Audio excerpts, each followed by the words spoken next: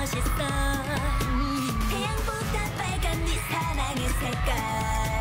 내가 까줄래 내 멋대로 할래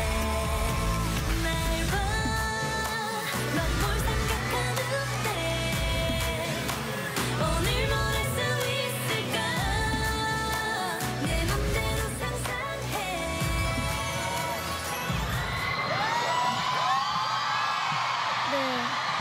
둘, 셋. Happiness 안녕하세요. 레드입니다.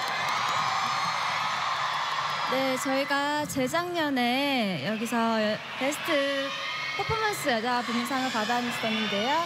오늘 이렇게 여자 부문, 여자 그룹상을 주셔서 정말 정말 감사드리고 2017년 한 해 저희 루키부터 빨간맛, 피카부까지 많은 사랑해주신 팬분들 너무너무 감사드리고 어, 저희 레드벨벳 사랑해주시는 모든 팬분들 감사드립니다. 그리고 어, 이수만 선생님 정말 감사드립니다. 감사합니다.